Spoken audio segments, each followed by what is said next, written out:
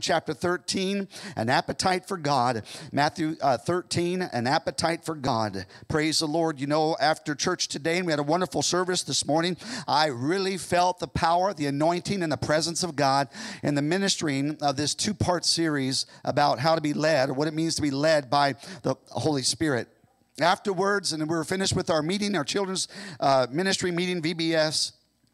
And uh, my lovely wife said, uh, I'm hungry. Where do you want to go eat? Amen. uh, now, this isn't a bad thing. She's hungry. That's a good thing. Amen. And, uh, but you know what? She has an appetite. And uh, uh, we all have an appetite, don't we? We have an appetite. But you know what? We have an appetite for Fred's ice cream. I, yes, sir, I sure do. I have an appetite for Wendy's hamburger. I have an appetite for El Campesinos. Anybody like El Campesinos? Oh, yeah.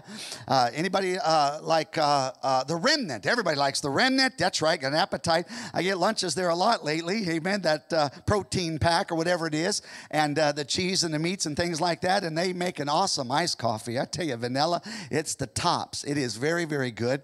And uh, I, I, we have an appetite for those good things. Well, I want you to have an appetite for the good things of God.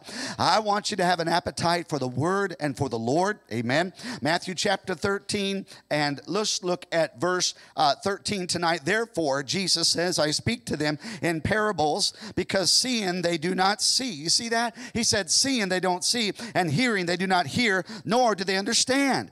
He says, and in them the prophecy of Isaiah is fulfilled, which says, Hearing you will hear and shall not understand, and seeing you will see and not perceive. And the hearts, he says, for the hearts of this people have grown dull, their ears are hard of hearing. Now I know there's nobody like that here that goes the word of life.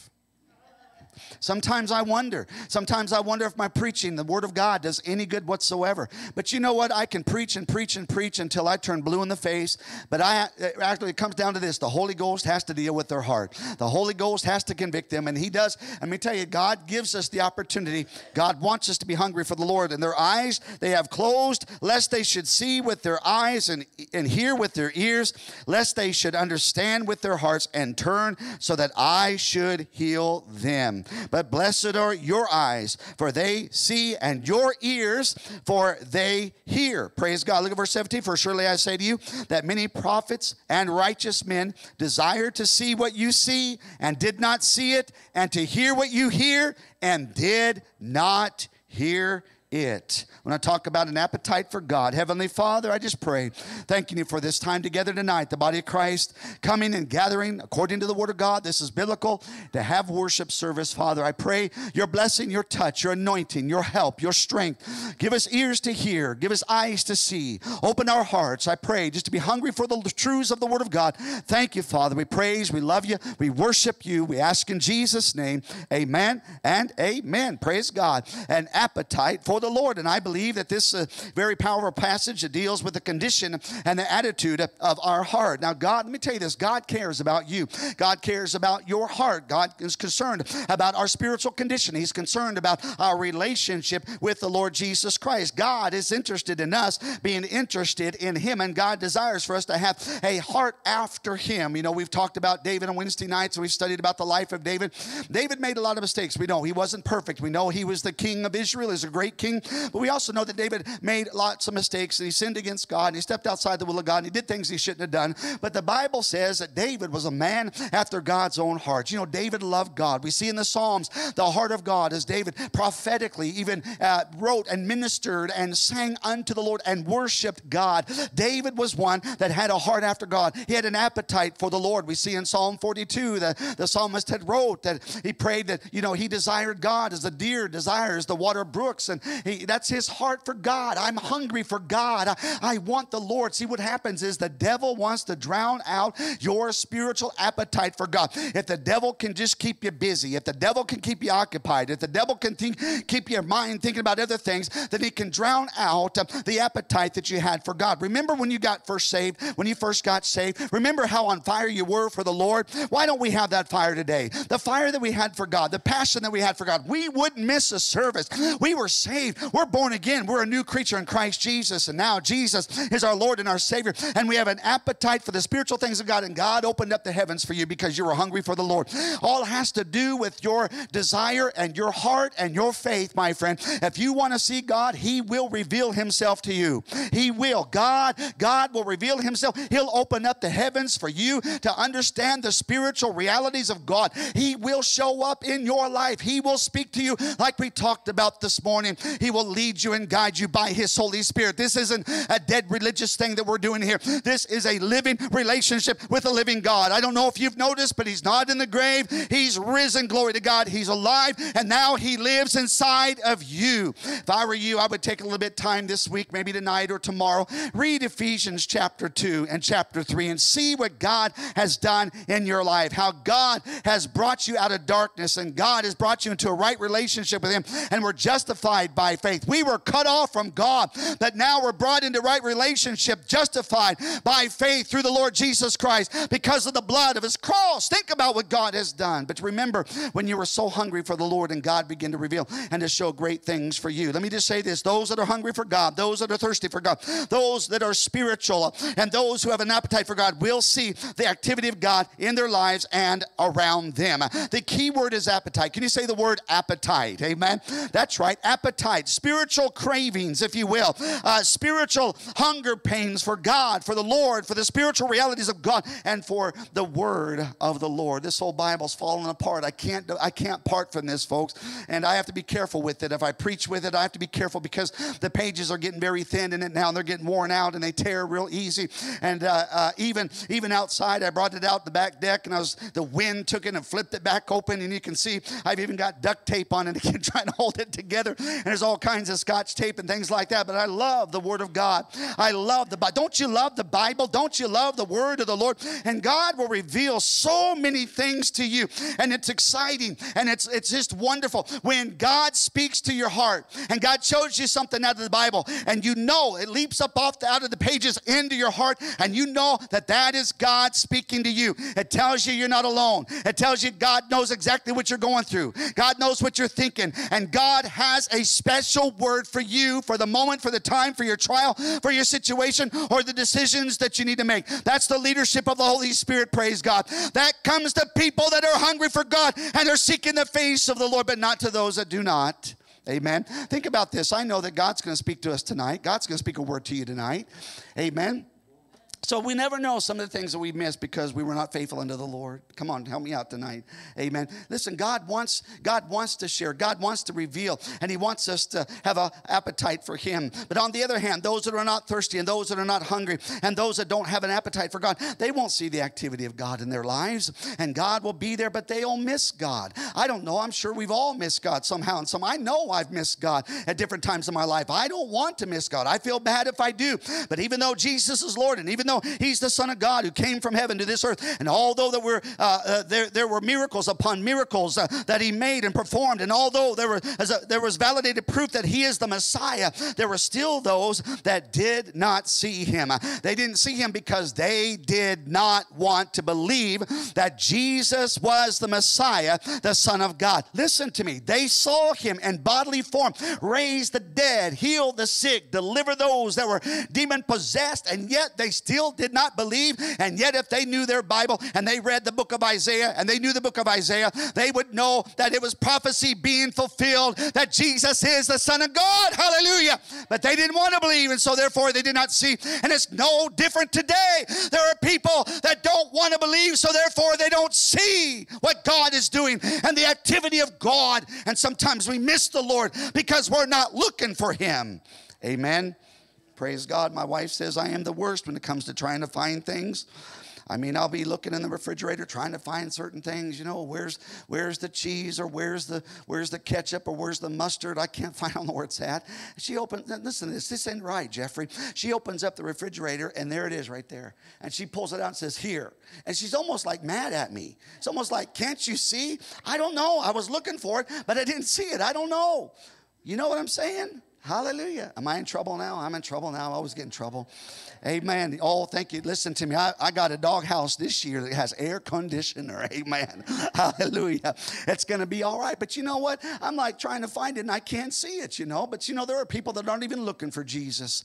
They're not looking for God and they won't see Him. They won't see the activity of God in their life. They miss God. God stood right there uh, before their eyes and they missed it. Why? Because they're not looking for Him by faith. It all has to do with the condition of our heart. Our heart. That's right. You can come to church on a Sunday night or Sunday morning and still miss God because we can come out of duty, out of religious duty, out of religious habit. It's a good habit to be in to come to church, but it's a better habit if you come expecting to see the glory of God. Come expecting to hear a word from the Lord. It'll transform your life. Every time I went to church, I was on the edge of my seat believing that God had a word for me from that pastor or evangelist or whoever is going to preach, whether it be Sunday morning or Sunday night. Even at the old Baptist church I went to, the, the wonderful folks that kicked me out didn't matter. I believe that God had a word for me once I got saved. I was on the edge of my seat. I'm believing the Lord. God has a word for you in your life and in your situation that'll speak to your heart. Friends, sometimes we miss God because we're not looking for Him.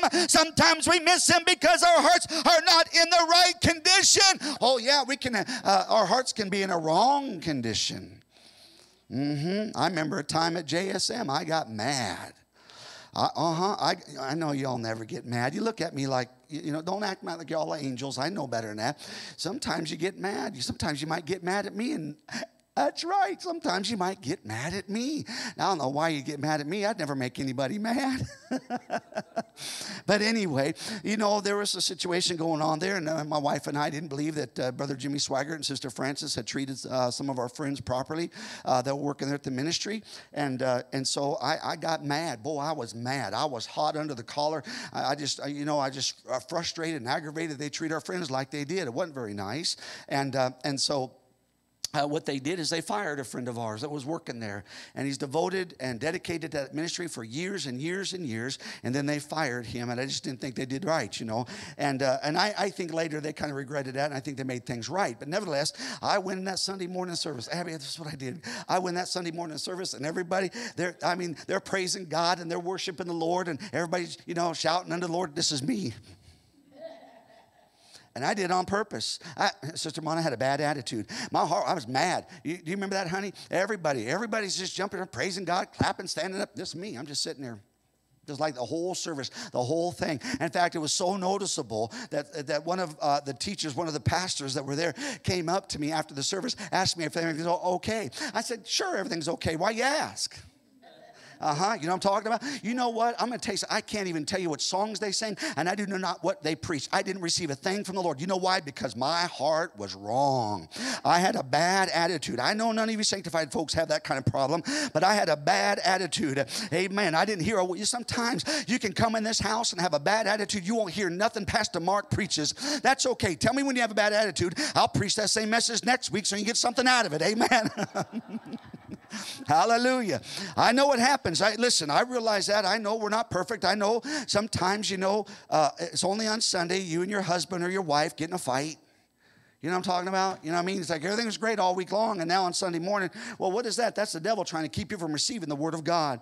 Amen. That things go wrong on Sunday. Get a flat tire on Sunday. The refrigerator breaks down on Sunday. Things happen on Sunday. Always on Sunday. You know, there's Monday through Saturday, but the devil don't mess with you on Monday through Saturday. He messes with you on Sunday because he doesn't want you to go to the house of God, worshiping God, praising God, and he doesn't want you to receive a word from the Lord that God can speak to you and change your heart and your life and your situation. No, he doesn't want that. So he fights against it. So we do have spiritual conflict and spiritual warfare against life the life of Christ. But sometimes we miss the Lord because our hearts are not in the right condition. Sometimes we miss God because of doubt and unbelief. That's a major thing right now. Even at Word of Life, wonderful people like you, you're wonderful people, you're amazing people, you're, you're fantastic. But you know what? Sometimes we don't come expecting to come believing God. That's doubt and unbelief. Sometimes we miss God because our eyes are looking someplace else. Sometimes we miss God because we didn't want to see Him, or we're in church, but we're not expecting to see Him. We're not believing to see Him. I've seen God show up on a Wednesday night. I've seen God show up on a Sunday morning. I've seen God where He didn't show up on Sunday morning, but He showed up on Sunday night. I, you just never know what God might do. But come expecting God every single time, and you won't be disappointed. Don't look to me. I'm not God. You look to the Lord, and God will not disappoint you.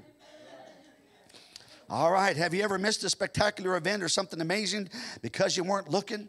Because you weren't looking. I mean, you were there, but your eyes were on something else. You t- glanced at something else and you missed one of the most amazing shots in basketball. I did that with Michael and with Matthew. And sometimes, you know, I'd be on my phone and I missed a good shot or I missed a good block. I remember Matthew, I don't know, he was, I wish he was here tonight, but since he isn't, I'm going to try my best to embarrass him. But no, he was just a little boy. I don't know what grade he was in. Honey, do you remember? I think he might have been 12 years old, something like that. I, I, I, uh, whatever, the, I, I wasn't able to go to the game. It was was an away game and I wasn't able to go to it. And so there's only a few seconds left on the clock. Sister Jan, do you remember this? There's only a few seconds left on the clock before it was halftime or something like this, or before the end of one of the periods or the quarters. And so he got the rebound of the ball and he's on the other end of the court and he's bouncing it. He's just a little guy, right? Half court. I mean, a little over, even over half court distance. And he throws the ball. It's in the air. The clock is ticking three, two, and then the ball goes through a swoosh and the buzzer goes off and the people go crazy. And I wasn't there to see it. Now, but I did get to see that somebody videoed it and I was able to see the video. But how many know it's not quite the same like being there? You can watch this service on church, but it's not quite like the same as being there and being in the presence of God and, and having the Spirit of the Lord amongst the people in the body of Christ. Amen. Hallelujah. Oh, there's a difference, my friend. Sometimes you might have missed amazing plays in football or baseball, all because my eyes were on something else. It, it was just for a split second, but I missed it. Sometimes we can miss God you know, we can miss His presence. We can miss the truths uh, because uh, uh, just for that split second, we had our minds on something else other than God. We miss, we and we can miss, but God, uh, what God is doing all around because we're not because we're looking the wrong way. We're we're looking down instead of looking up. We're not believing the Lord. Israel had every opportunity, but they missed it. They messed up. God wanted to do amazing things with His people, but rather than believe God by faith, they murmured. You know the story here when they were in the wilderness. They they, they complained. They didn't believe God. God. Amen. That, uh, that, can happen to us too. And because of unbelief, they wandered in the wilderness all those all those years and those 20 years and older until they died out. And then God rose up a younger generation who would obey his voice and they would cross that Jordan River. And that new generation was the one that experienced the power of God and the Jericho walls come tumbling down and they experienced victory over their enemies and they take possession of the promised land that God had for them. Praise God. Don't quit. Still keep believing the Lord and he'll bless and help you. Numbers 32 and 11 says this Numbers 32 and 11 Surely none of the men who came up from Egypt from 20 years old and above shall see the land of which I swore to Abraham, Isaac, and Jacob, because what? They have not wholly followed me. They rebelled against God. In fact, the book of Hebrews says they rebelled against the Lord. They did not believe. In fact, they didn't believe. In fact, they didn't. Uh, the gospel that was preached to them didn't help them because it was not mixed with faith, because of doubt and because of unbelief. Folks, they missed it. We might consider them as the Old Testament church. They were God's chosen people, but they missed the blessings of God. They missed the. I don't want to miss the promised land. I don't want to miss the blessings of God. They missed the opportunity for God to do great things in their lives. You want the baptism of the Holy Ghost, don't miss God. If you want God to, you want to be re- refilled, don't miss God. Come believing, come expecting for the Lord to minister and to touch you. All because they were looking the wrong direction. They didn't see it. Perhaps they didn't want to see it. Maybe they refused to see it. But because of the disposition of their hearts, in which was reflected by the direction of their eyes, they missed many blessings from God. What about the church of the Laodiceans in Revelation chapter, chapter 3? They also were not uh, looking for Jesus. Where was he? They, they, they, they have an all great time inside, but let me tell you, it was all carnality. It was all carnality. There was no spirituality whatsoever in that church. How do you know that? Because everything that was spiritual was outside the church, on outside knocking on the door, desiring to come in. But Jesus said they didn't see. And he said this, they're looking the wrong direction. What are they doing? They're looking themselves. It's all about them, but not about God. They're wretched, poor, blind, and naked spiritually. Jesus said this, anoint your eyes with eye salve that you may see. Amen. We need to anoint our eyes spiritually with eyes salve, the eyes of our heart, that we might see the Lord, that we might see His glory, that we might see the spiritual truths that God wants to speak to us through His Word. Amen. All right. Praise God. It's okay. It's all right. It's okay. I love you. Praise the Lord. I know you love me. Amen. It'll be okay. Now, when you become a Christian, God gave you spiritual sight and hearing so that you can begin to experience the presence and activity of God in your life. Before I was saved, I couldn't see spiritual truths. Could you? Could you understand spiritual truths before you got saved? I couldn't see them. I couldn't hear them. I couldn't understand them. I was church. I was religious, but I didn't know God. I wasn't born again. I gave those, those Catholic nuns all kinds of trouble in catechism. I, I knew what it was to be in church. I was bored to death. I didn't understand a I, I wasn't born again. I wasn't alive spiritually. I, you can go to church but not be born again. So before I was saved, I couldn't see spiritual truths, understand them. Jesus said, unless, he says this, unless one is born again, he cannot see the kingdom of God. He can't see the kingdom of God unless one is born again. I think that's John chapter 3. Amen. He can't see it. You, uh, you can't understand it. Uh, you can't comprehend it. You can't uh, grasp it. Uh, it makes no sense to him because why? The lost mind or the carnal mind or the unregenerate mind or the soul cannot understand or grasp spiritual realities or spiritual truths. They just don't make sense to them, okay? You try to talk to them about the Bible, spiritual warfare, the end time events. They don't understand any of that unless it comes to the place of salvation. Then God will open up their understanding if their hearts are hungry to receive the truth about how a person can be saved or their sins forgiven. God will deal with you. But you cannot understand the Word of God or the Bible unless you're saved. And when you're saved, then you are spiritually minded and able to discern what is God and what is not God, okay? All right. But when I got saved, the moment I asked Christ into my heart, I began. I'm a new creature in Christ. Old things are passed away, all things become new. God now dwells in my heart. He opened up the heavens to me, He opened up my understanding. I began to see things I never saw before. Everything was new now. I understood why God created me. I understood my purpose in life, and that's to glorify God. The purpose of your life is to bring glory and honor unto God, to glorify the Lord. I understood why the birds chirped and why the stars were in the sky, to bring glory to God. God created created all things, the Bible says. The universe is amazing. Tell me where the beginning of the universe is. Tell me where the end of the universe is. It's just incredible. Do you know that there are more galaxies than just the Milky Way galaxy? You know that? We're in the Milky Way galaxy. It's amazing. Do you know that it takes, when you see the, the, the light from the sun, that light is already eight minutes old? Did you know that? It's already eight minutes old. The light that you see right now, that's eight minutes old. It takes eight minutes to travel from the sun to the earth. The light from the Big Dipper takes 45 years to travel from the Big Dipper to the earth. That's a long time.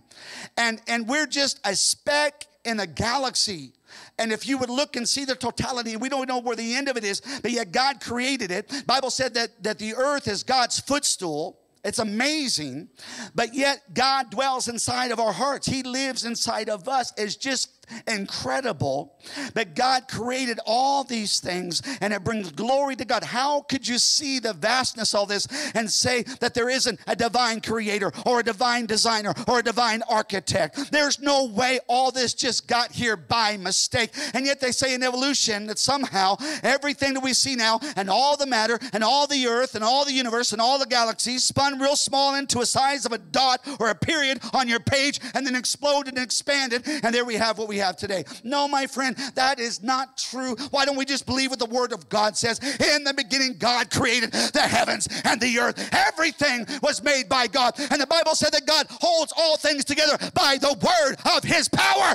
He is our God and our Creator and the designer of all things. He is Lord, and God has created all this, and it brings glory to the Lord. How can you look at the vastness of the universe and all that's created and not believe that there is a God? How could you be a doctor, a surgeon? Do you know they still can't figure out everything about us? They don't know everything there is about the body. They don't know everything there is about the brain. It's incredible. They're still trying to figure it out. I'm still trying to figure out people too. But it's true. It's amazing. Let's, let's take a minute here and just reflect on this. God is the creator. God, and of all the planets and of all the galaxies, and the, and the Milky Way, and if you back up enough off the Milky Way, the Milky Way looks like a dot. It's just a speck, it's just a little bitty light compared to the vastness of other universes. There's another universe they say, I forgot what they name it, but it's bigger than the Milky Way. It's bigger. But yet, but yet there's human life on this earth. Of all the planets, there's human life on this earth. Of all the planets, this is where Jesus came and dwelt among his people. Of all the planets, this is where Jesus came and died on the cross and gave his life and shed his blood for you and I, that we might have eternal life. And the Bible says when Jesus comes back, he's not coming back to all the other planets, he's coming back to earth. He's coming back for his people for a church without spot or wrinkle that's been washed in the blood of the Lamb. Jesus is coming back to set the new Jerusalem, his kingdom here on this earth, and he'll reign for a thousand years. Amen. Hallelujah. It's incredible. It's amazing. It's amazing. Thank God for his goodness. But once we become a new creation in Christ, the Holy Ghost helps us to understand the spiritual t- truths and to walk in God and to walk with the Lord. He will lead us. Spiritual sensitivity to God is a blessing that must be accepted in, and put into effect in our lives, and, and that's by faith. I believe this is why it's imperative that we receive the blessing of the baptism of the Holy Ghost. I want to encourage you to pray and to seek God. Seek Him in your car, seek Him at home, seek Him everywhere you go, and to cry out to God for the baptism of the Holy Ghost. Maybe He'll baptize you in your car, maybe He'll do it at home. Maybe he'll do it in the woods. Maybe he'll do it at church. I don't know. But if you will seek God now, everywhere, at all times, and you'll cry out to the Lord, I know that God will be faithful to baptize you in the Holy Ghost. Amen. I remember when we started the church at Word of Life, and now we're at the CWA building on Bellefontaine Avenue. And man, I'd pray for people a lot of times to receive the Holy Ghost. And I remember one particular Sunday night, there was just a handful of us. I don't know, maybe 12 of us, something like that. And uh, I called them all up front. I didn't know what I was doing. I just called them all up front. We're going to pray for the Holy Ghost. And so I said, lift your hands. And I asked some people that were behind them, I said, now, I said, when I tell you, I said, lay your hands on them and let's pray and believe God for the Holy Ghost. And so we're praying and we're believing God and they're raising their hands. Some of them got tears coming down their cheeks and they're crying out to the Lord. Man, I tell you this, crying out to God. I don't think we had any music. I don't uh, anything like that at the time. We're just, we're just crying out to God. And uh, after some time, all of a sudden, that one got baptized in the Holy Ghost. And then that one got baptized in the Holy Ghost. And that one got baptized all in one minute. Boom, boom, boom. The Holy Ghost fell. The, Bible talks about the Holy Ghost falling. The Holy Ghost fell upon them. Hallelujah. Praise God. That's what we want, church. I want the Holy Ghost to fall upon us. I don't want to say that we're Pentecostal name only. I want to be Pentecostal in experience. I want the Holy Ghost to fall upon the church again, fall upon Word of Life, fall upon you. And it's a blessing. And God has that gift for you. And God wants to empower you. And God wants to strengthen you and help you in your walk with the Lord. You need the Holy Ghost. So cry out to Him, not just here, but at all times. And maybe when you come here, maybe before you get here, all of a sudden God will pour out His Spirit upon you. Boom, there you go. Hallelujah. I was praying for God, the Holy Ghost. I was praying for the Lord to baptize me in the Holy Spirit. Once I realized there's a lot of confusion in that because people are telling me it's of the devil and all that kind of thing. But once I found out, no, it's not, it's of today according to the Word of God. And I was praying all the time for God to fill me with the Holy Ghost. But it was that Sunday morning at JSM when I went down to the altar, that octagon, back then, praying for healing over a situation, praying for healing. God would, God would heal me, God would set me free. And it was there at that time that I heard the certain sound of a mighty rushing wind, and God poured out the Holy Ghost. Of all times, that was the time I wasn't even asking for the Holy Ghost. I wasn't praying for the Holy Ghost. I was praying for healing. I lifted my hands, all of a sudden I heard a sound, and God poured out the Holy Ghost. I began to speak in other tongues. As Spirit of God gave the utterance. It was just like it was, I believe, in the book of Acts, divided. If you could see in the spiritual, divided tongues as a fire sat upon me. And I'm just telling you, if you'll hunger for God, if you'll thirst for God, if you'll have an appetite for God, God will not disappoint you. And you'll be surprised all of a sudden God will show up. Maybe you're not even praying for the Holy Ghost, but the Holy Ghost falls on you begin to speak in other tongues as the Spirit gives you the utterance. Amen, church. Hallelujah. Praise God. Now, not to embarrass anybody here tonight, I'm not going to embarrass you, but I just want to ask you this: if you, if you say, "Well, Pastor, I'm one of those that want to be baptized in the Holy Ghost," raise your hand so I can pray for you. Just raise your hand so I can pray for you. Thank you, thank you. Anybody else? Anybody else want the baptism of the Holy Ghost? Anybody else? Everybody baptized in the Holy Ghost here tonight? Because if you're not, I just want to pray for you. All right, pray, I just want to pray for you. Anybody else? Anybody else? I just want to pray for you. I'm going to pray for you. I'm going to ask God to touch you, to fill you with the Holy Ghost of God. Just, yeah, that's right. And I, I believe in God. Don't be afraid. Don't be ashamed. Just lift your hand. Say, Pastor Mark, pray for me. Pray for, thank you. Okay, there's four. Anybody else? Anybody else tonight? Eh, five. All right. All right. Five. Anybody else? Pray, pray for you. I'll pray for you. Six, all right, six. All right, we got seven, we got seven. Anybody got eight? Anybody got eight? Anybody got eight? Hallelujah. It's taking a little time to get there. We got seven, got seven, got eight, got eight, eight. Anybody got nine? Nine. Anybody got nine? Amen. Hallelujah. Don't be ashamed. I'm gonna pray for you. Believe God for you. All right. Hallelujah. Praise the Lord. You pray, and I'll pray with you, all right? Amen. You'll never know. You just come up here, you'll find out what happens. God, God will fill you with the Holy Spirit. God will empower you. Amen. Praise God. All right.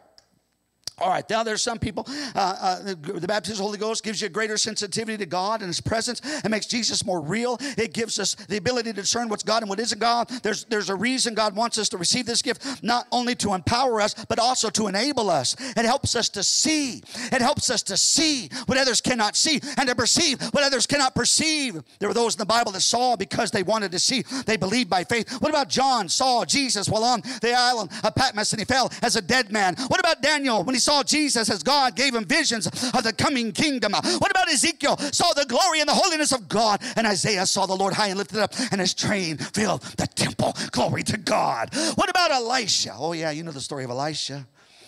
Amen he was he saw what others could not see and when the enemy surrounded them his servant gehazi got a little bit nervous and but not elisha. He knew god was with him and his servant saw the enemy. But elisha saw the army of god surrounding them. I want you to notice look at elisha. It says 2 kings chapter 6 and verse 16 2 kings chapter 6 and verse 16 i can't wait till wednesday night when we get into 2 kings and 1 kings. It's going to be a great study amen? But elisha said do not fear for those who are with us are more than those that are with them and elisha prayed and said lord i pray open his eyes that he may see. That's his servant. And the Lord opened the eyes of the young man, that's Gehazi, and he said, And behold, the mountain was full of horses and chariots of fire all around Elisha. Now, what happened here is God opened his eyes and then he saw. But when you see that part where it said the mountain was full of horses and chariots of fire all around Elisha, it was there the whole time. Elisha saw that. The servant didn't see it, but they were there the entire time. Elisha, who had a spiritual mind, a spiritual heart, an appetite for God, saw into the heavenlies and can see in the spirit, in the spiritual, what was really there, but Gehazi couldn't see it. I wonder how many of us are not seeing what is really here. Maybe there are angels around and camped around us right now. Oh, hallelujah. Praise God. Maybe a lot of people are not seeing what others see. The scripture indicates that those who are who are not spiritual cannot see or comprehend spiritual things. Matthew chapter 13, verse 14. Matthew 13 and 14. And in them the prophecy of Isaiah is fulfilled, which says, Hearing you will hear and shall not understand. Hearing you'll hear but not understand. And seeing you will see and not perceive. That was me at one time. For the hearts of this people have grown dull, dull. Their, their ears are hard of hearing, and their, their, their eyes have, have closed. They, they, they don't hear. They're dull. Lest they should see with their eyes and hear with their ears, lest they should understand with their hearts and turn so that I should heal them. You, you want God to touch you? You want God to heal you? You, you need a miracle in your life? I pray that your hearts not be dull. Michael just tonight was trying to open up the, the salt bag downstairs, a brand new bag, and trying to pour salt in the bucket. And so he had something in his, in his hand. I thought it was a knife, and he poked it in the bag, and he was trying to, to open that bag. And I said, Man, I said, Is your knife that dull? And I realized it was a screwdriver. He's trying to pull it open. You know, you can do that when you're a Marine. You, know, you just get up. Use whatever you want. But I'm just saying, sometimes our knives can be pretty dull to where they don't function properly. And we miss out on the Word of God and on the spiritual realities of the Lord. We miss out on the blessing of God because uh, our hearts can become dull. That's right. God wants to work in, in, in lives and do miracles and bless, but, because, but He couldn't. Uh, Jesus went to His hometown and couldn't do many miracles because of the hardness of the people's people's hearts. They did not believe God. Folks, I don't want to come like, I don't want to be like that at Word of Life. I want us to believe God for the unbelievable. Why not? Why not give it all to God? He's a big God. He's a great God. He's a huge God. Amen. Praise the Lord. And there's nothing God cannot do. Without spiritual eyes, we can be right in the midst of a mighty move of God and not see it. I mean, people are getting happy and blessed and shouting and running and praising God, and we're just looking around, not even interested. Do you know how many times I've seen people right at the altar call get up and leave? Right at the altar call. Why do you leave now? It's a habit every time at the altar call. Why do you? In other words, you've already made up in your mind before service even started, you're not coming to the altar. That's what you said. You've already made up in your mind that you've got to go and you've got to leave at a certain time. If pastor runs a little over, I got to leave early. You've already made up in your mind. You've already shut your heart out. You, you, in other words, what I'm saying is you're exactly what Jesus is talking about. Your hearts have grown dull. You don't know how, how bad that hurts a pastor when he's putting everything he has and he's put hours and hours and hours into a message. and he's trying to help people. But you know what? They're really they're not turning away from the pastor, they're turning away from God. They're turning away from Jesus. But you know what? They did the same thing to Jesus in the New Testament. Did you know that? That they turned away and walked with him no more, the Bible says. His disciples turned away from him, people turned away from him. That's right. When, when Jesus, when he began to speak and the sayings were too hard, they said, We can't take this. We're out of here. We're not, talk, we're not carrying no cross. We're not doing this. We're not going to be crucified for you. We're not going to take any kind of persecution because of you. And so they turned away and followed him no more. In other words, they've made up in their mind, Jesus, you either give me what, my, what I want or I'm leaving you. And we have the same mentality here today. The same thing happens to here today. If you go too long, I've got things to do or whatever. I've already made up in my mind. I'm leaving at a certain time. I've made up in my mind. I'm not coming. I've made up in my mind. I'm not going to go to the altar and pray. I've already made up in my mind. I'm not going to budge. You are in danger of hell fire. I'm going to tell you very clearly and with love you are in danger of hell. Because I don't know how a born again Christian can think that way. You might every once in a while, but it can't be a common thing in your life. You get mad at the preacher if you want. Get mad, throw knives at me. Curse me to my face or behind me. It doesn't matter. The fact is, I must tell the truth. I must tell what the Bible says. But I have known people through the years, and I see that people have habits, and they've already made up in their mind. They're not coming back on Sunday night regardless. They're not going to go to the altar regardless. Why not? Why not? Why not come back? Why not be led to the Spirit of God? Maybe God has something for you. Maybe God wants to feed with the Holy Ghost. Maybe God wants to renew and strengthen you and revive you. There's no, listen, there is no strength like the strength of God. Those that wait upon the Lord shall renew their strength. They shall mount up the wings like eagles. They shall run and not be weary. They shall walk and not faint. There are times I've only gotten two or three hours of sleep, but God strengthened me and sustained me as if I had a full night of sleep the next day. The power of Almighty God, all because I was hungry for the Lord. I would stay up and pray and worship the Lord. I remember many times laying in my bed and I would lift up my hands unto God and just praise God and worship God just because I'm hungry for the Lord. You don't have any time, problem spending an hour and a half at El Campesinos. You don't. It all has to do with the condition of our heart. We have no problem spending an hour and a half. We, will we'll, we'll drive an hour to go to uh, uh, uh, Bellville, uh, Bell, not Bellevue, I said Bellville. And we'll go to that Der Dutchman over there. We'll take an hour and we'll drive over there. And we'll wait 30 minutes in line for them to wait on us. And then we'll take another hour to eat. That's two and a half hours, no problem. But when it comes to the Word of God, all of a sudden we don't have time. Church, I'm preaching tonight. You know exactly what I'm telling you. It all has to do with the condition of the heart, okay? I'm going to hurry up here. I'll hurry. Without spiritual eyes, we can be right in the middle of a move of God and not recognize it. God can speak through His Word. The person next to you might sense the presence of God. The glory of the Lord may fill this place, but we miss it. We miss it because we're not looking for it. We miss it because we're not expecting it. We miss it because we don't have spiritual eyes and a heart condition to receive. Think of those who missed Jesus. He stood right before them. Miracles after miracles. People were healed, delivered, set free, lepers cleansed. The, some of the dead were raised to life and they refused to see it. They missed it. They missed God working in their lives and there was no change in them. They walked away from God.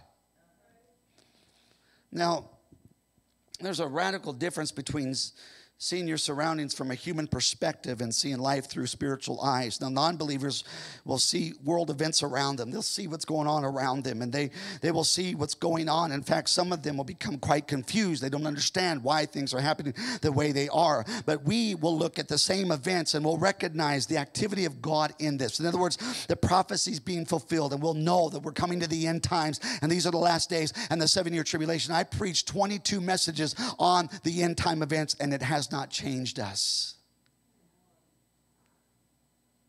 It hasn't changed a thing, has it? We don't believe the Bible. We don't believe the book of Revelations. We don't believe the book of Daniel. Hasn't changed a thing. We go on, just like Jesus said, in the days of Noah, they were married and given in marriage, eating and drinking, going about our daily lives, but nothing has changed after 22 messages. That's that's about 22 hours of preaching on the book of Revelation. Do you understand what I'm saying here tonight? Listen, I, I, I, if your life doesn't line up with the Word of God, then your testimony is against you. Your lifestyle's against you. you. You testify against yourself because you're not lining your life up with the word of God. Folks, the prophecies are being fulfilled. This ought to startle us. This ought to shake us. We need to adjust our lives to Christ. When we meet a person who is seeking God because our spiritual eyes are open, we will recognize the convicting work of the Holy Spirit in that person's life. You can go to Second Corinthians chapter 4 verse 18 as a reference, brother John, you can put that on the screen there. Second Corinthians chapter 4 and verse 18 is a reference there. Hallelujah. Praise God of the temporary things of life compared to eternal things of life. The temporary things are passing away, but the, the things which are eternal are forever. While we look not at the things which are seen, but at the things which are not seen. Look at the screen there. For the things which are seen are temporal, but the things which are not seen, they are eternal. Amen. What about the time when Jesus stopped at the well? The disciples were hungry, so they went down to Burger King to get something to eat for lunch, but not Jesus. He stayed at the well, Jacob's well, in fact, it was in John chapter 4. And there was a Samaritan woman who came to draw water, and she had been married for five times and she was living with another man. And immediately there was the activity of God. Now, listen, her life is a wreck. Her life was a mess. She was empty. She was searching. She was seeking, but could not find. And God was drawing herself, her to Himself. And at this moment, the food can wait. You understand? God is working. Lunch can wait. We'll eat another time. God's doing something now. Most would have missed it. They would have noticed, especially the church of today. But Jesus takes notice. He sees what others cannot see. He perceives what others cannot perceive. Jesus is in tune to the Holy Spirit. He has the fullness of the Holy Ghost without measure. And before it's over, a woman who was living in sin, a woman who was empty on the inside, a woman who was searching for answers is saved. And she began to tell everybody else about Jesus and what he had done. Listen, but in the meantime, the disciples come back to Jesus and said, Rabbi, eat. But Jesus replied by saying this I have food to eat of which you do not know. Okay, wait a minute. Guess what? They didn't see it. What am I saying? I'm saying these are disciples that walk with Jesus, but they missed it. God was at work, but all they cared about was lunch. It's like the church when the pastor preaches too long. Huh? All right? The last 15 of the minutes of the message, you didn't hear a word. The last 15 minutes, you didn't hear nothing because he went past 12 o'clock. Well, I don't know, your God doesn't move past 12 o'clock. My God does. The Baptist God doesn't work past 12 o'clock. I'm going to be honest with you but my God does. My God's not limited by time, but we limit God by our time. You understand what I'm saying? And, and so God, God was at work and, and all they cared about was their lunch. They didn't see it. I'm trying to, that's the church today. The disciples are a type of the church today. That's what happened. They're thinking carnally. And the disciples said to one another, Has anyone brought him anything to eat? And so they're trying to figure this whole thing out, but they're looking at this in the natural rather than the spiritual, the supernatural. And Jesus said, My food is to do the will of him who sent me and to finish his work. Jesus said, That's what I came for. And disciples were living according to the natural instincts instead of the spiritual instincts. They did not see spiritually. They're being led by their stomach, by their hunger pains, by their flesh. Paul said something about their belly being their God, or their God is their belly. You have those who will see God doing some, something in someone's life and act upon it, but then there are those without spiritual perception who will account, they will encounter that same person and not grasp the eternal significance of what's happening in that person's life. It all has to do with the eyes and the desire of the heart. Your eyes are, are, are connected to your heart. And I was pondering the other day and thinking about this. Jesus said, now listen to this. Jesus said, if your eye offends you, pluck it out. Ah, I can hear today that church is a cult. Jesus says if your if your hand offends you, cut it off. Cut it off. Now, people say, no, no, no. What he's talking about is spiritual things, and you just can't do that. Well, wait a minute, wait a minute. No, what Jesus is doing, he says, your soul is so important. Heaven and hell are real, and your soul is so important. It'd be better for you to go into heaven without one eye or without one arm than you end up in hell with your eye and your arm. If you can't quit lusting, pluck it out. Get rid of it. You don't need it. Is that, is that what you want and it's going to send you to hell? Oh, that, that's, that's some weird preaching, Pastor. I think Jesus meant exactly what he said. If your eye offends you, pluck it out. If, if, you, if your hand offends you, cut it off. Now, I know he wasn't teaching on self mutilation, but he's talking about that your soul is so important that you need to take drastic measures if you can't get victory over whatever that is, it's going to drag your soul to hell. See, Jesus, he, he thought that this gospel was so important. That's right. He thought that the heaven and hell was so important. He thought the cross was so important. He thought that uh, shedding his blood was so important that he said, if these things offend you, you need to get rid of them.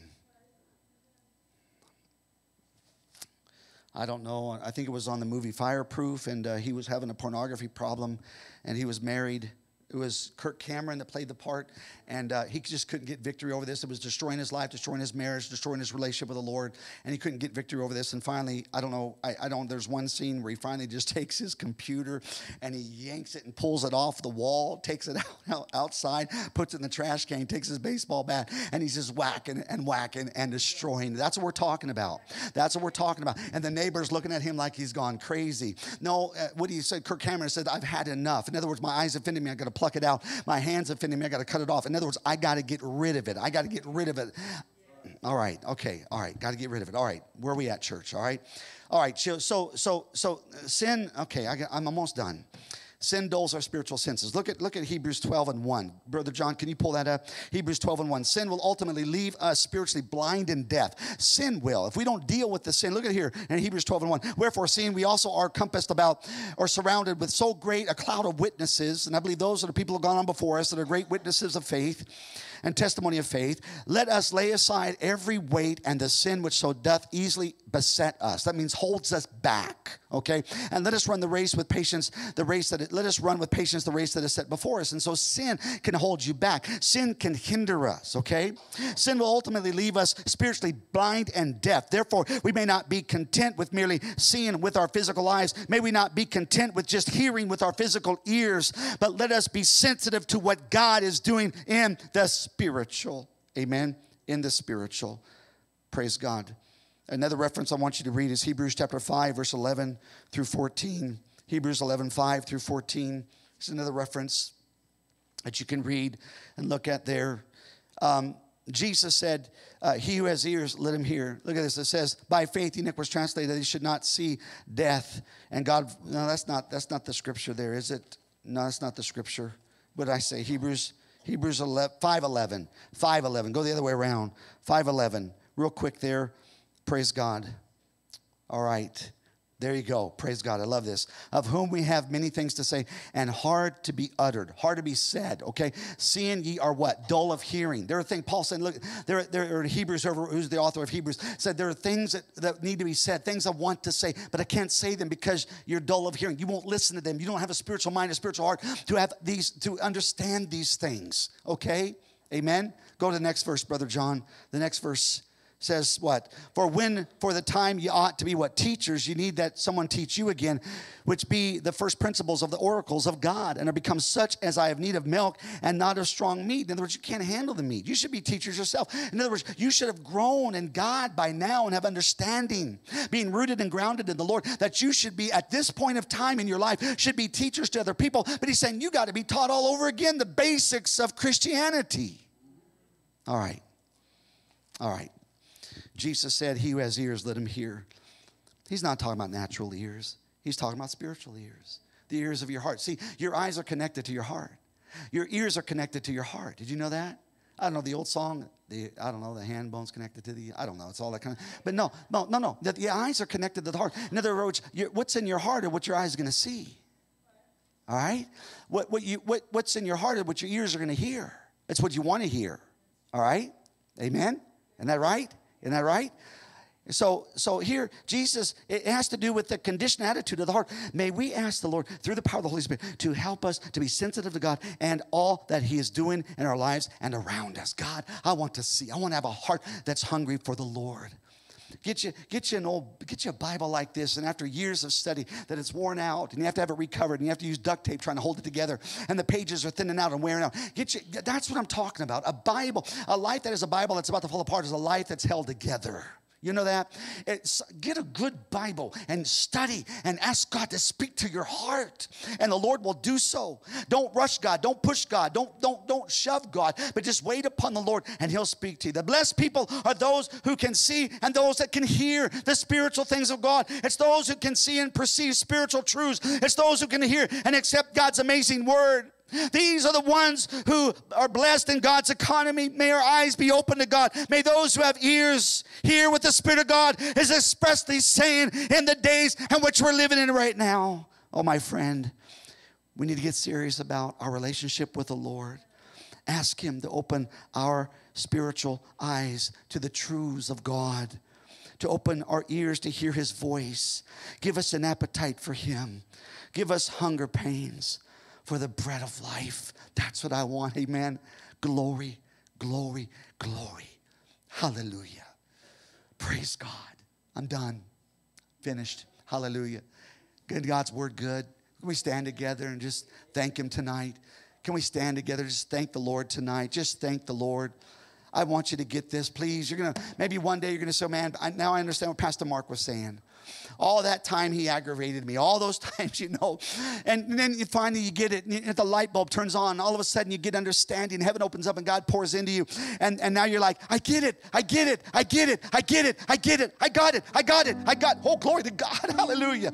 That's what I'm talking about. This is what's needed. This is what's needed.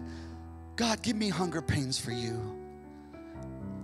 Give me hunger pains for you. I want a spiritual craving. I want a spiritual craving. Listen, I I don't know. Most people, I don't know how many times they eat a day. Three times a day? Two times a day? Four times a day? I, I got people here for, for one hour of preaching, one 24th of an hour on that day of the whole week on just Sunday morning. I, 124th. And I've got to somehow deposit into them enough. I can't do it in one hour. I can't do it in one hour. You, you go, you, people will go, they'll go eat in, in, the morning and they'll have breakfast and, and they'll have lunch at home and, and then at night they'll go out to eat again on one day. One day. I, I just ask you to come back on a Sunday night that I might feed you more.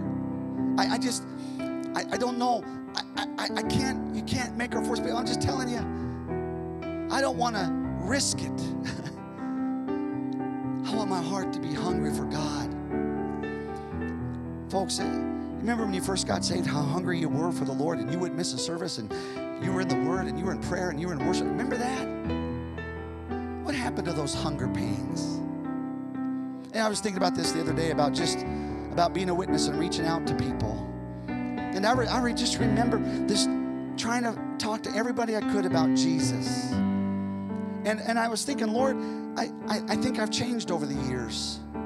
And I think some somewhat has to do with people, you know, turn you away and turn, you don't want to hear it. And you only get the door, your door, the door slammed in your face so many times, and you just kind of get tired of trying. But you know what? We got to keep on trying. We got to keep on reaching people. We got to do everything we can to try to reach them with the gospel of Christ. People need saving. Your family needs saving. You got children need saving, grandchildren, great grandchildren. They need saving. They need the Lord. Pray for them. Don't give up. But of all things, let them see a craving in your heart for God, an appetite for the Lord an appetite for God.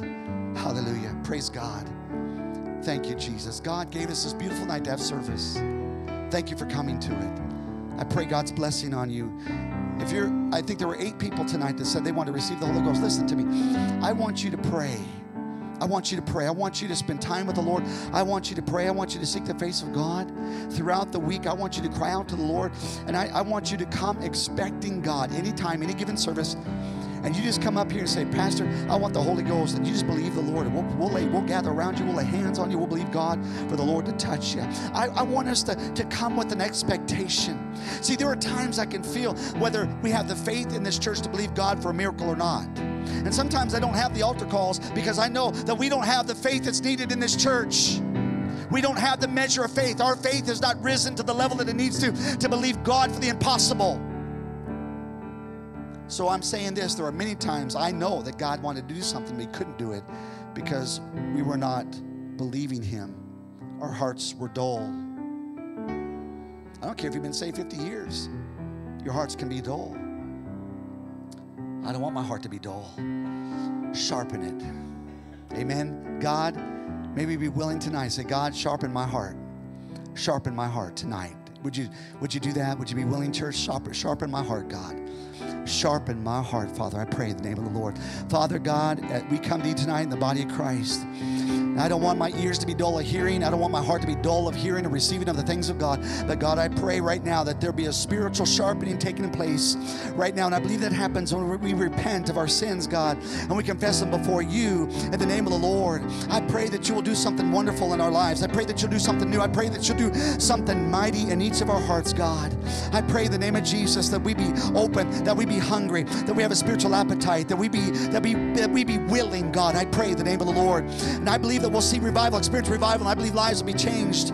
And I believe, God, that when we open ourselves up to you and God, you do something mighty in us, I believe we'll see our family getting saved. Just like the jailer and his family, his household got saved when he got saved. Father, I believe that'll happen. I believe that'll happen in the body of Christ. If we will come expecting, believing, you prayed up, worshiped up, read, worded up, God, I believe, God, in the name of the Lord, that you'll do something great and wonderful and magnificent because you're an awesome God and there's nothing you cannot do. You're a miracle working God. Hallelujah.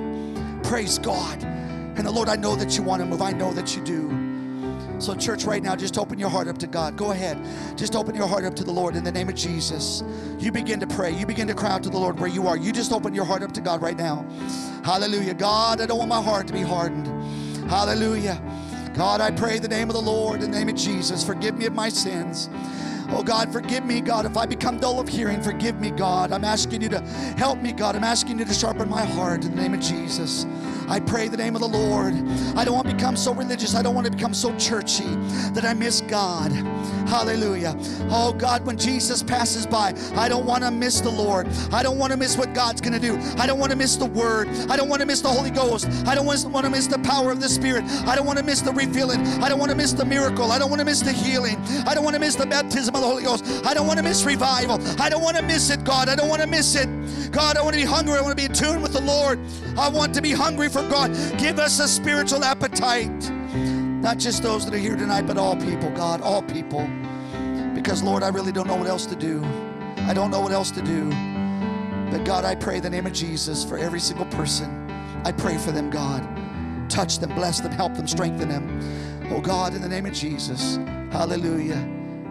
Hallelujah. Open your heart up to the Lord. Ask God to help you. Ask God to pour out the Holy Ghost upon you. Ask God to pour the Holy Ghost on you. Ask God to fill you. Hallelujah. Amen. I want you to start making a difference. I want you that want the baptism, Lord, I want you to start coming to the altar without me prompting you. And I want you to pray. And I want you, I want to see a hunger in your heart. I want to see hunger pains in you. Hallelujah. You know, I know, I know you mamas. You'll go to the grocery store, you'll take two hours going to the grocery store, you'll spend two hours in the kitchen. If you know your hung, your family is appreciative and you know your family is hungry, your children are hungry, you love cooking. Because they come and they they appreciate the food and they eat it all up. And that just does something to you that just makes you feel proud. You know i would have to say that has to do something with god. When we come as his children hungry to the banqueting table when we come to God and say, God, I'm hungry for more. I'm hungry for you. I'm hungry for your presence. And I believe that that does something with God. And God just wants to pour out. And God just wants to pour out. And God just wants to pour out. And God just wants to pour out on you. Hallelujah. The more that you hunger for the Lord, God never runs out of supply. God never runs out. God has an abundant supply. And whenever we're hungry for the Lord, God just keeps pouring. He keeps pouring. He says, Look at that sister. She's so hungry for the Lord. He just keeps pouring out, pouring out, pouring out, pouring out. Look at that brother, he's hungry, pouring out, pouring out. You know what? I want to see our young people hungry for the Lord too. I want to see our young adults hungry for the Lord. I want to see them hungry for Jesus also. I want to see them at the altar seeking the face of God. I want to see them crying out to the Lord. I want to see a stirring in their hearts as well. Hallelujah. Hallelujah. Hallelujah.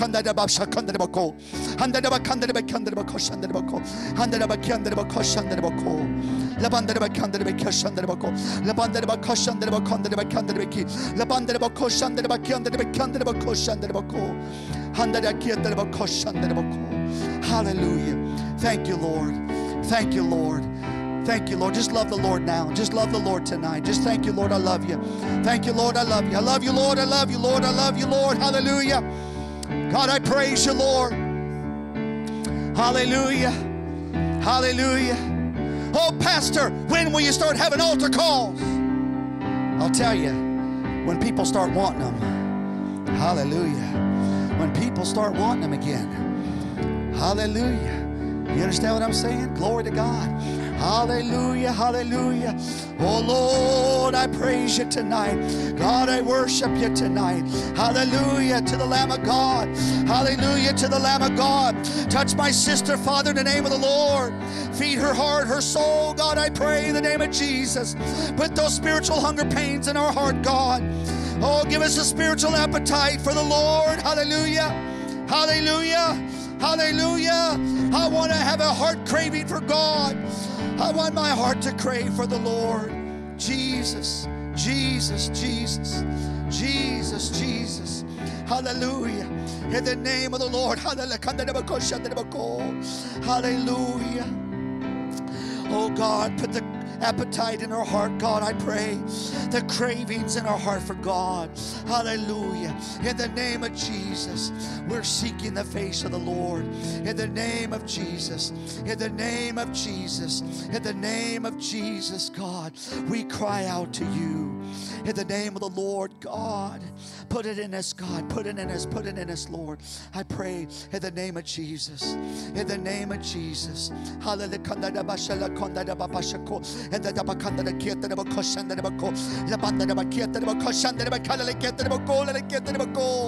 I want the Holy Ghost. I want a miracle. I want the Lord. I want the Holy Ghost. I want the Holy Ghost with the evidence of speaking in other tongues. Fill me with the Holy Ghost. Fill me with the Holy Ghost. I cry out to the Lord. Hallelujah. Fill me, God, with the Holy Spirit. Hallelujah. Hallelujah. Hallelujah. Fill me, Lord. Fill me, God. Fill me, God. In the name of Jesus, I want the Holy Ghost. Baptize my sister with the Holy Ghost, speaking with other tongues as the Spirit of God gives the utterance. I pray in the name of the Lord. I pray in the name of the Lord. Hallelujah. Hallelujah. God, your touch, your power, your grace. Oh, we believe the word of God. We stand on the promises of God. We cry out to a living God, not a dead God, not a dead Jesus. He's alive. He's alive. He's alive. God, we love you. God, we praise you. God, we worship you. Hallelujah. Come, Holy Spirit. Come, Holy Ghost. Praise God. Hallelujah. Hallelujah.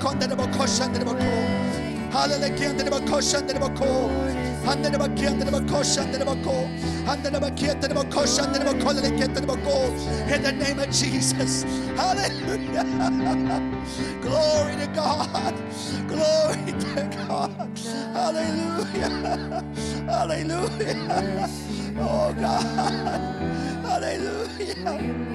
Jesus. Jesus. Hallelujah. Oh God. Oh, we praise you, Lord. We worship you, Jesus. We worship you, Lord.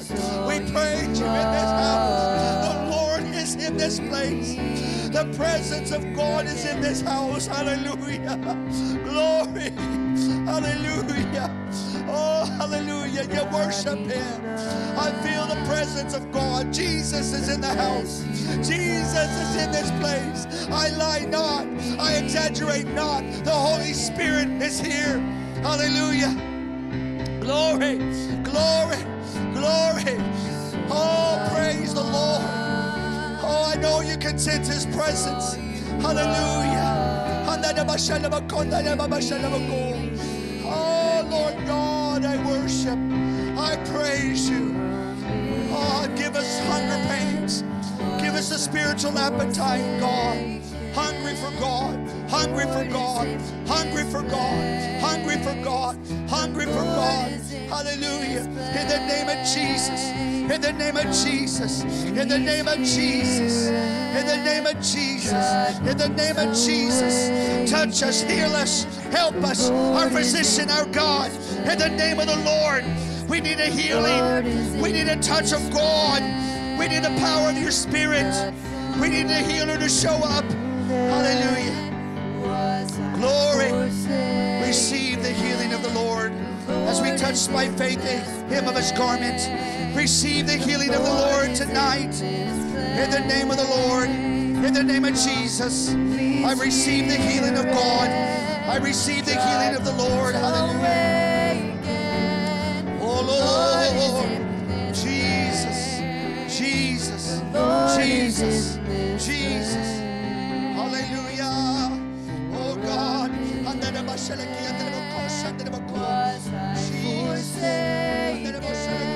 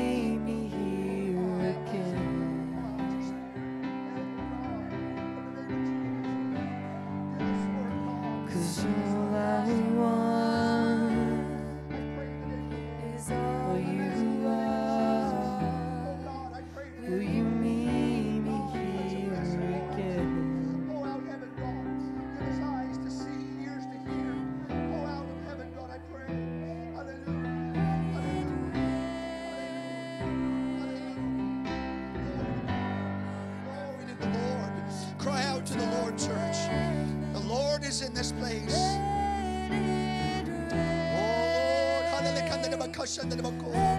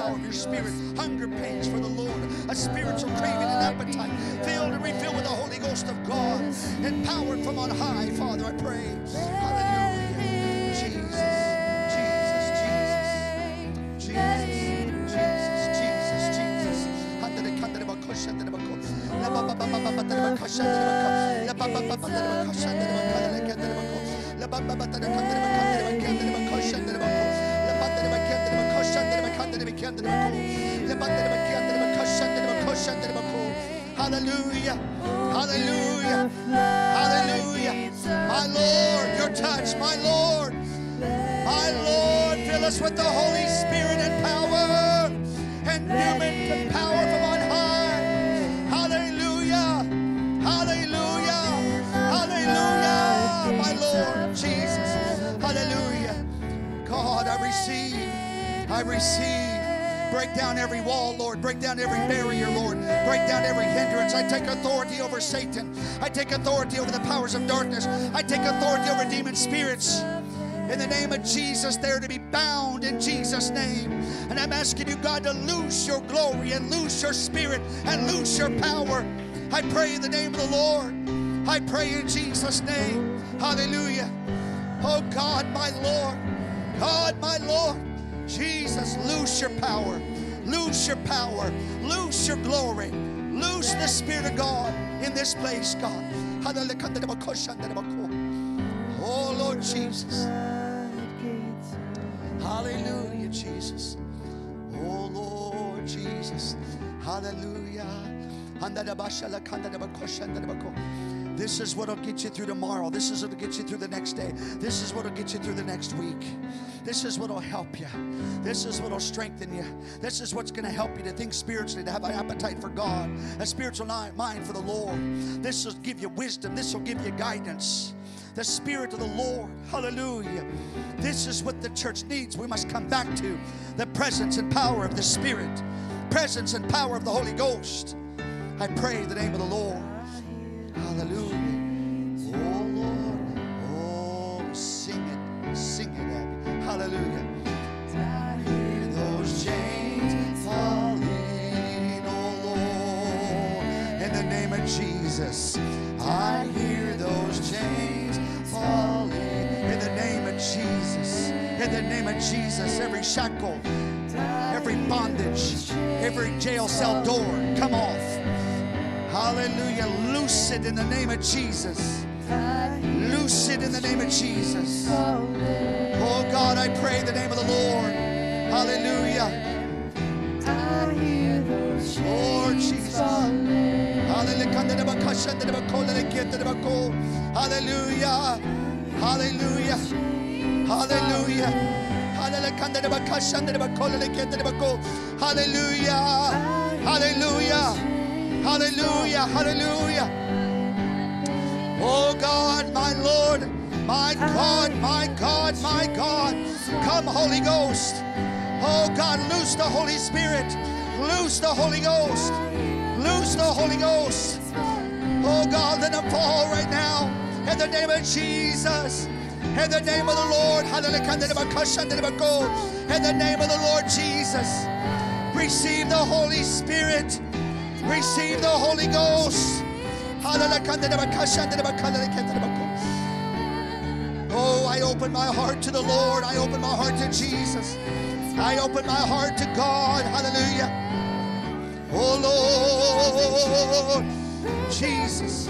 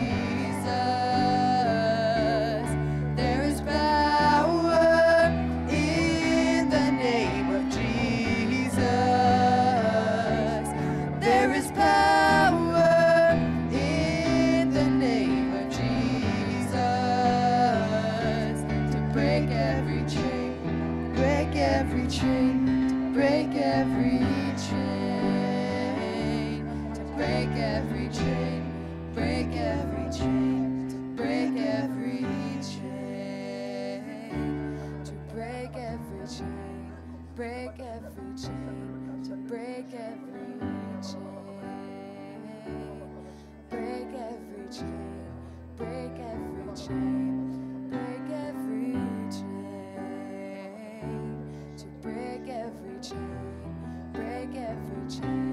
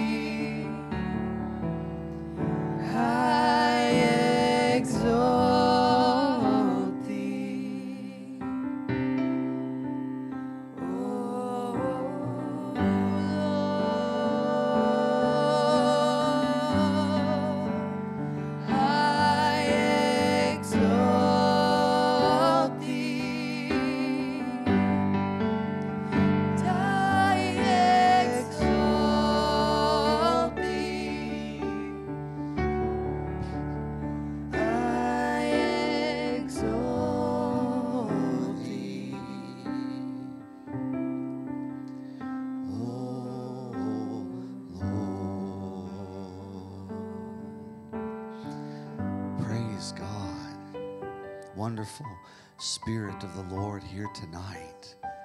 Praise the Lord. I don't know if you folks watching us live can sense what we sense in this place, but it's a wonderful, sweet, sweet spirit here tonight. Thank you, Jesus. Showing up and confirming His word. Thank you, Lord. Praise the Lord. This is what's needed. People get too busy and think, I don't have time for this. You don't have time for Him then, because I tell you, it's wonderful Spirit, Holy Ghost. Thank you, Jesus. Lord, so kind to us. Isn't He good to us? Amen. Praise the Lord. Let's stand together tonight. Just thank Him. Just stand together. Thank Him. Thank you, Lord, for your presence. Thank you for the service tonight here. Thank you, Lord, for showing up. Thank you for the glory of your presence in this house, God, and touching your people, encouraging the hearts of your people. Now bless them, Lord, as we continue this week. Give them strength every day to live their lives for you. Empower them, Father, with the Holy Ghost. Those that are seeking for the baptism of the Holy Spirit, I pray that they'll just cry out to you all week long, every day. Cry out to you for the Holy Ghost. And I pray, God, that you'll do it. I know that you'll do it. I know that you'll do it. Lord, you might do it on their job. You might do it in the car. Might do it at their house. Might do it at church. It could be anywhere, God. Our heart's just hungry for the Lord. Bless them, Lord, I pray. Thank you, Lord, for this time together. We simply give you glory, God. We love and bless you, Father. Thank you for saving us. Thank you for being our Lord and our God and for giving us the strength to live for you. Father, I pray for revival. I pray for an outpouring of the Holy Spirit. I pray for change. I pray, God, that you'll do this in our hearts. Thank you, Father. Thank you, Lord. We love you and praise you in Jesus' name. Amen. Amen. Glory to God. God bless you, folks. Have a great night tonight. I know that you already have. Amen. I know that you already have. God bless you. Thank you, Jesus. If you joined us live, thank you for joining us, being a part of our service tonight. And the Lord may richly bless you as well. Amen. See you Tuesday night at prayer, folks, at 7 o'clock. Tuesday night. Come on. Pray together. Get the fire.